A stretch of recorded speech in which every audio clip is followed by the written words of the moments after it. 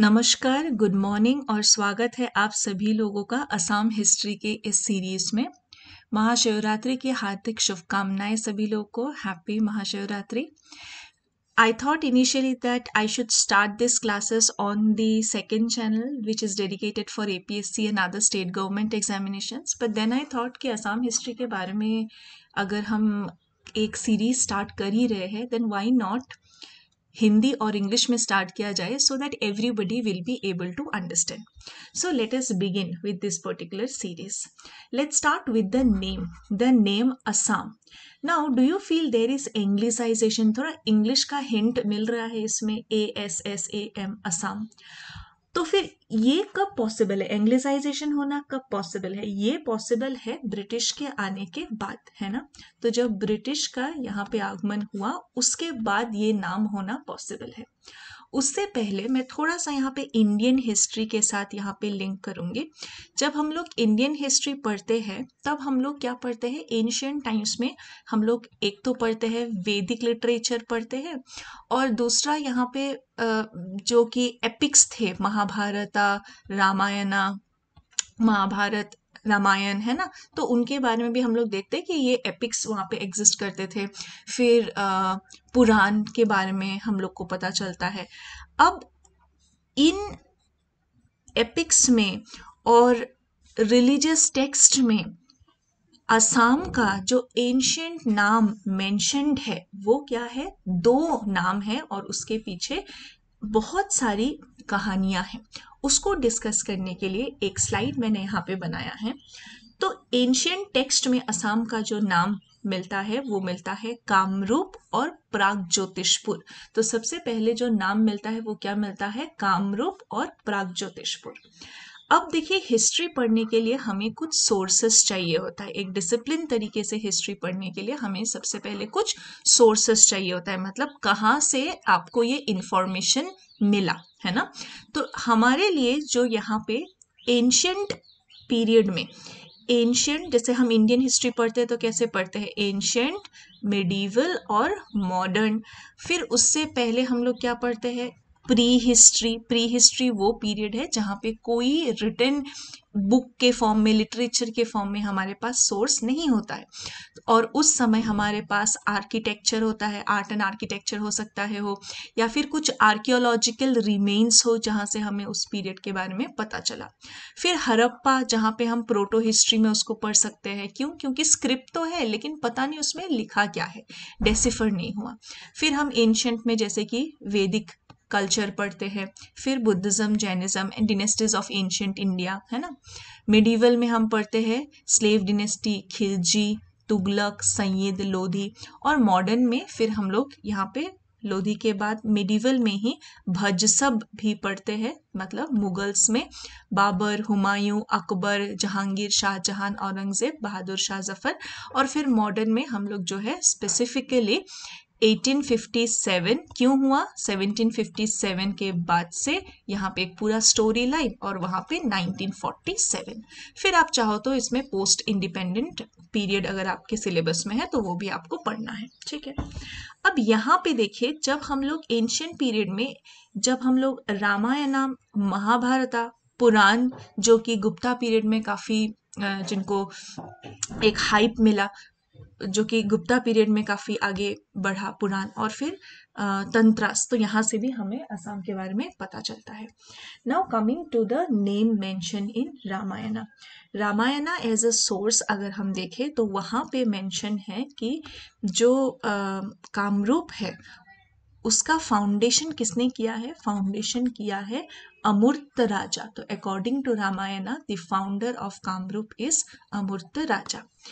Mahabharata में जो नाम दिया गया है, महाभारत में नाम दिया गया है प्राग ज्योतिषपुर तो महाभारत के हिसाब से नाम क्या है? नाम है प्राग ज्योतिषपुर अगर हम कालिका पुराण को एज अ सोर्स देखें तो कालिका पुराण में कहा गया है कि ब्रह्मा ने ब्रह्मा ने जहाँ पे सबसे पहले स्टार को बनाया, उसको हम लोग क्या कहते हैं? कामरूप कहते हैं। तो जहाँ पे सबसे पहले स्टार्स तारों को बनाया गया है।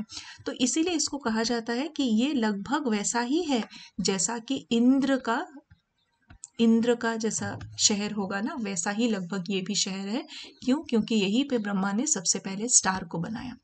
फिर कामाख्या टेंपल का एक स्टोरी है और कालिका पुराण में इस तरीके से है कि कामाख्या टेंपल सेंटर प्लेस हुआ करता था जिसके अराउंड कामरूप शहर जो है वो बसा हुआ था with Kamakhya temple at it centre फिर अकॉर्डिंग टू जोगिनी तंत्र जोगिनी तंत्र में भी मेंशन है और जोगिनी तंत्र में कहा गया है कि कामरूप जो है वो चार पार्ट्स में है और चार नदियों के बीच वो चार पार्ट्स में जो है एग्जिस्ट करता है। बेसिकली पाँच नदियों के बीच वो चार पार्ट्स में एग्जिस्ट करता है।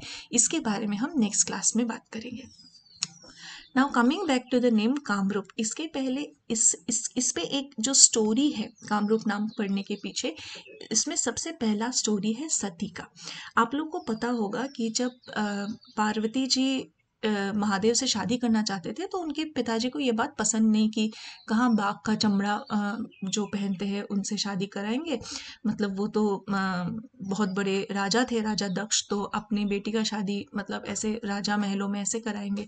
तो कहाँ जंगलों में जो जंगलों में भी रहते हैं, जो शेर का चमड़ी भी पहनते हैं, कहाँ उनसे शादी कराए? तो उन, वो खुश नहीं थे उस शादी से।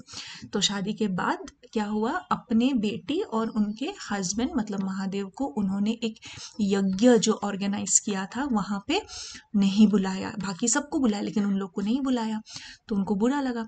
तो फिर सती ने फिर भी बोला कि वो अपने पिता के यज्ञ में जाएँगे। महादेव ने बोला कि नहीं नहीं जाना है जैसा, क्योंकि कुछ सही नहीं लग रहा है तो फिर नहीं जाना है। बुलाया भी नहीं है। लेकिन फिर क्या होता है कि सती जो है वो पार्वती जो है वो चली जाती है। यज्ञ में चली जाती है। फिर अपने पिता से पूछती है कि आपने हमको इनवाइट क्यों नहीं किया? और वहाँ पे वो बोलने लगते हैं कि तुम्हारे हस्बैंड ऐसे है, वैसे है। तो इस चीज़ से उनको बुरा लगता है उन्होंने बोला, ये यज्ञ जो है, यज्ञ क्या ही जो हवन कुंड है, उसी में जो है वो अपना देह त्याग देती है, उसी में वो कूद जाती है तो उनके शरीर को जो है आग लग जाता है। महादेव को ये बात पता चला तो वो गए वहाँ पे और उन्होंने उनके बॉडी को उठा के वो पूरी दुनिया में ऐसे क्रोध से जो है वो घूमने लगे। पूरी दुनिया में ऐसे क्रोध से घूमने लगे तो फिर अब ये कैसे क्या किया जाए? तो यहाँ पे जो भगवान विष्णु है, विष्णु ने अपने सुदर्शन चक्र से बॉडी को काट दिया। तो 51 पार्ट्स बॉडी के जहाँ जहाँ गिरे, उनको कहा जाता है 51 शक्तिपीठ। और उसमें से जो योनि है, वो गिरा कामाख्या टेंपल में, ठीक है? और ये जो है एक कामाख्या टेंपल में गिरा, लेकिन उसके बाद भी महादेव जो है वो चले गए। मेडिटेशन स्टेट में डीप मेडिटेशन स्टेट में वो चले गए। तो उसके बाद अब क्या किया जाए? तो अब यहाँ पे कामदेव ने उनको डिस्ट्रैक्ट करने का जो है, उन्होंने कोशिश किया। तो इससे जो है अब वो एक और स्टोरी है, लेकिन महादेव ने फाइनली जो ये किया, उन्होंने कामदेव को वहाँ पे भस्म कर दिया। थर्ड आई के से मतलब उनको भस्म कर दिया। तो भस्म करने के बाद जहाँ पे काम देव काम देव ने जहाँ पे अपना रूप फिर से लिया, वैसे तो कहते हैं कि ये एक फॉर्मलेस फॉर्म होता है डिज़ायर्स आर फॉर्मलेस ऐसा भी। लेकिन उन्होंने जहाँ पे अपना रूप लिया और या फिर उनको जहाँ पे वापस से भस्म से जहाँ पे वो वापस आ गए तो उसको इसीलिए क्या कहते हैं, कामरूप कहते हैं। तो ये जो है यहाँ पे स्टोरी है। अब आते हैं प्रागज्योतिषपुर प्रागज्योतिषपुर एक बहुत फ़ेमस किताब है असम हिस्ट्री के ऊपर, एडवर्ड गेट ने लिखा है। तो प्राग मतलब क्या हो गया? ईस्टर्न, है ना? ईस्ट। तो या फिर फॉर्मर पे फॉर्मर भी कहते हैं। प्राग मतलब फॉर्मर और ईस्ट। और ज्योतिषपुर यानी कि क्या हो गया? ज्योतिष astrology so this is also known as city of eastern astrology ठीक है? अब यहाँ पे एक और नाम जो है, या फिर मॉडर्न नेम की जो सबसे करीब यहाँ पे अस्साम यहाँ पे देखिए, हो सकता है कि ओरिजिन हो ओहोम ओहोम मतलब अन इवन असमान हाँ? तो इस तरीके से ओहोम मतलब अन इवन तो जो अन इवन हो, या तो यहाँ से हो सकता है, फिर हो सकता है अछम है ना? So this has origin to ये टाई ओरिजिन है तो हो सकता है जब यहाँ पे आहोम लोग जब यहाँ पे आए तो हो सकता है वहाँ से ये नाम हो। इसके अलावा और भी बहुत सारे लोकल नेम से रिलेट करके इस नाम को थ्योराइज करने का कोशिश किया जाता है। लेकिन फाइनली इवेंचुअली जो असम नाम है, उसमें तो एंग्लिसाइजेशन यहाँ पे दिख सकता है। तो हमारे पास नाम क्या हो गए? हमारे पास नाम हो गए कामरूप प्राग ज्योतिष या फिर प्राग ज्योतिषपुर और अहोम। और यही से जो एंग्लिसाइज्ड वर्जन जैसा जो सुनने को मिलता है, वो क्या है? वो है असम असम आप सुनिए गया था असम तो यहाँ पे क्या होता है? ए एस एस एम यहाँ पे एंग्लिसाइजेशन देखने को मिलता है। वही हम जब एसमीस में बोलते हैं तो हम अहोम बोलते हैं। ठीक है? Okay thank you